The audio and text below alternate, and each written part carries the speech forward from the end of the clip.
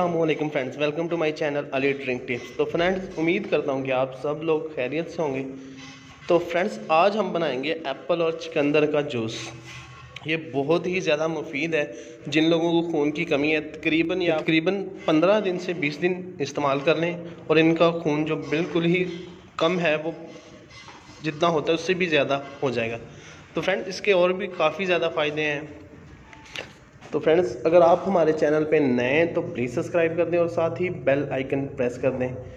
तो फ्रेंड्स आज की वीडियो बगैर टाइम ज़ाया किए शुरू करते हैं।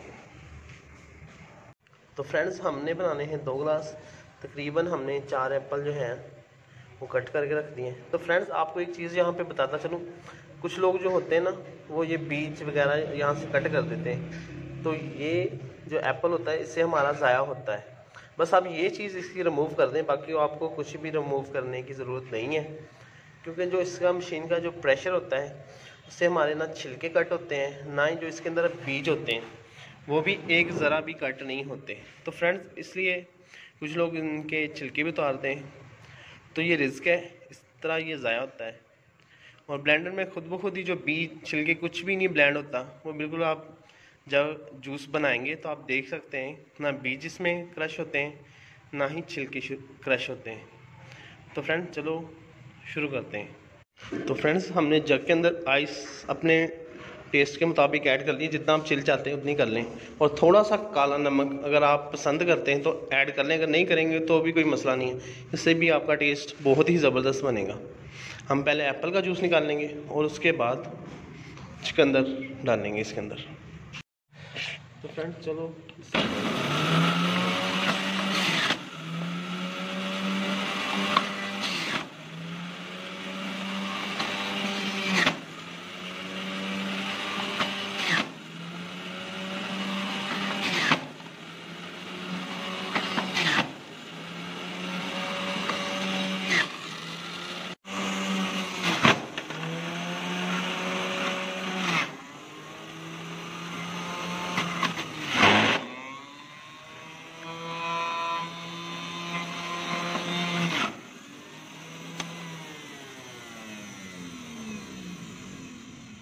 फ्रेंड ये हमारा एप्पल और चिकंदर का जूस बन के रेडी है।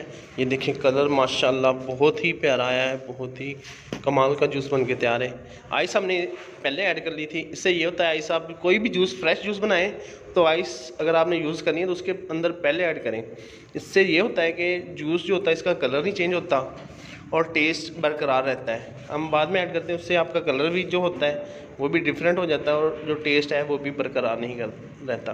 तो फ्रेंड्स हमारा जूस बन के तैयार है। अब हम आपको सर्व करके दिखाएँगे। फ्रेंड्स यहाँ पे हमने नॉर्मल साइज़ के दो ग्लास ले लिए और अब इसे हम सर्व कर लेते हैं। बिसमीम तो फ्रेंड ये देखें हमारा कलर भी बहुत ही प्यारा बना है और इसके फ़ायदे भी आपको बता दिए ये बनाना भी बहुत ही आसान है। ये देखिए हमारे दो ग्लास बन के तैयार हैं।